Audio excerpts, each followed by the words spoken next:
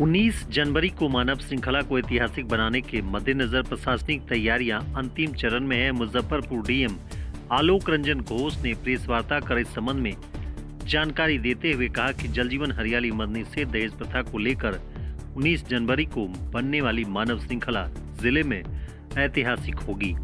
उन्होंने बताया कि अधिक से अधिक लोग इसमें शामिल हों। इसके लिए सभी लोगों से अपील की गई है साथ ही यह भी कहा कि ज़िले में लगभग 1000 किलोमीटर लंबी मानव श्रृंखला का लक्ष्य रखा गया है। इसमें लगभग 15 से 20 लाख लोग शामिल होंगे। इसके लिए गाँव से लेकर प्रखंड और जिला स्तर पर जनप्रतिनिधियों, बुद्धिजीवियों के साथ बैठक की गई है। लोगों में जागरूकता को लेकर विभिन्न तरह के कार्यक्रम आयोजित हो रहे हैं। हाईवे और प्रमुख मार्गों का चयन कर लिया गया है।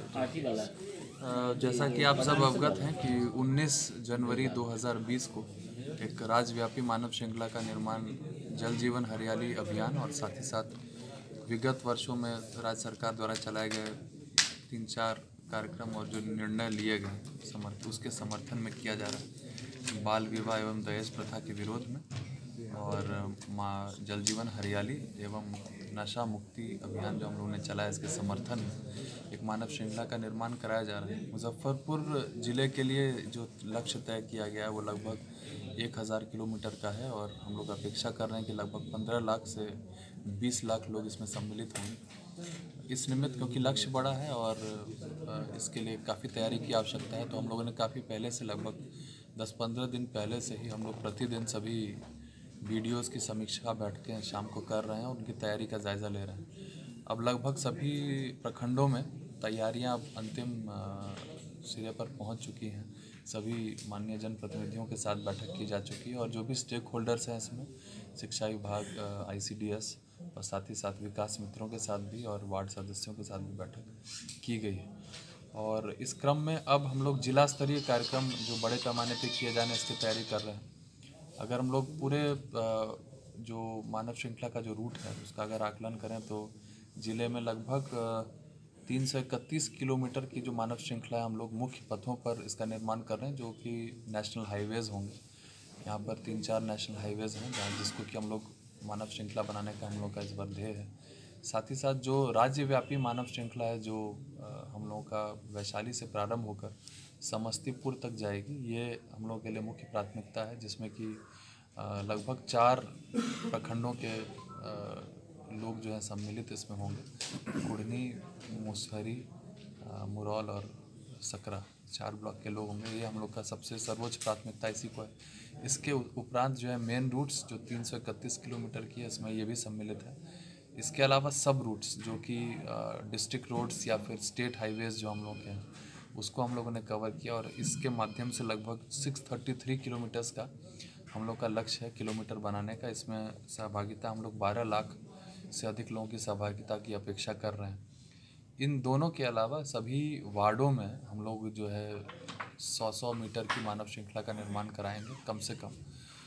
जो एक से चार कक्षा के वर्ग के बच्चे हैं, क्योंकि उनमें काफ़ी उत्साह रहता है और मानव श्रृंखला में भाग लेने का उनकी इच्छा रहती है, परंतु सुरक्षा के दृष्टिकोण से उचित नहीं है कि उनको मेन रोड्स पर लगाया जाए।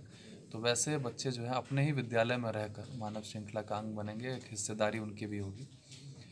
सभी वार्डों में जो सेविका, सहायिका हमारे आंगनवाड़ी कार्यकर्ता हैं उसके अलावा आशा कार्यकर्ता हैं, उन सबों को भी हम लोगों ने निर्देशित किया है कि जो वार्ड स्तर पर लगने वाली ऐसी मानव श्रृंखलाएँ उसका सतत पर्यवेक्षण करेंगी एवं सुनिश्चित कराएँगी कि उसका वहाँ पर हो। जीविका की दीदियाँ भी एक बड़े संख्या में इनकी सहभागिता यहाँ पर होगी। मुख्य पदों पर, उप मुख्य पदों पर और साथ ही साथ जो वार्ड स्तरीय जो होगा उसमें भी उनकी सहभागिता अपेक्षित है। मेडिकल टीम्स हम लोगों ने गठित की हैं जो कि एक टीम भ्रमणशील रहेगी अलग अलग रूट्स पे साथ ही साथ एक टीम, कुछ टीम्स स्टैटिक रहेंगी जो कि यदि कोई मेडिकल इमरजेंसी किसी परिस्थिति में उत्पन्न यदि होती है तो उसके निराकरण के लिए और एस और डिस्ट्रिक्ट हॉस्पिटल और संबंधित पी भी हाई अलर्ट पर रहेंगे। सभी पदाधिकारियों की छुट्टी उस दिन के लिए रद्द है, कोई भी मुख्यालय नहीं छोड़ेंगे, ऐसा निर्देश उन लोगों को दिया गया है। जो हम लोग का रूट्स है, उस रूट्स में अमूमन हम लोगों ने पाँच किलोमीटर को एक सेक्टर माना है और उसके लिए सेक्टर मजिस्ट्रेट हम लोग तय कर रहे हैं। इसके अतिरिक्त हर एक किलोमीटर पे एक नायक की प्रतिनियुक्ति की गई है, एवं हर एक सौ मीटर पे एक दल नायक की प्रतिनियुक्ति की गई है।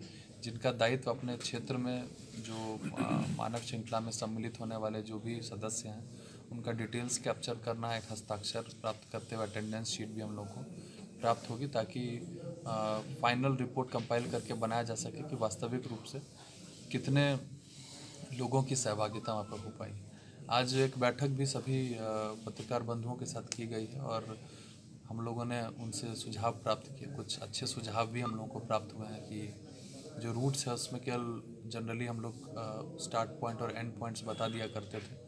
तो उसमें कन्फ्यूज़न की स्थिति रहती थी कि वो किस, क्योंकि एक जगह से दूसरी जगह पहुँचने के कई मार्ग हो सकते हैं। तो हम लोगों ने यही निर्णय लिया कि जो भी इम्पोर्टेंट रूट्स हम लोग तय कर रहे हैं, उसमें लैंडमार्क्स के साथ हम लोग रूट तय करें, उसको बढ़िया से ससमय प्रचारित करें, ताकि लोगों में कन्फ्यूज़न की स्थिति ना हो। अपने घरों से निकलकर जो भी निकटवर्ती लाइन जहाँ से भी गुजरी है, वहाँ पर वो वहाँ पर आएँ और सम्मिलित हो सकें। ऐसे वयोवृद्ध लोग जो सम्मिलित तो होना चाहते हैं, लेकिन अगर नहीं जा पा रहे हैं तो अपने घर के आगे भी खड़े रहेंगे तो हमको कोई आपत्ति नहीं है। जैसा कि हम सब अवगत हैं कि जो ये विषय है, जिस पर मानव श्रृंखला का निर्माण कराया जा रहा है, काफ़ी पर्टिनेंट है। हम सबने देखा है कि किस प्रकार विगत वर्ष पानी की समस्या, जल संकट जो है, इस ज़िले को झेलना पड़ा है, जहाँ की, जहाँ जनरली ये समस्या नहीं हुआ करती थी। तो आज की जो तैयारी है वो आने वाले दिनों में परिलक्षित होगी, इसके लिए मानव श्रृंखला का निर्माण कराया जा रहा है।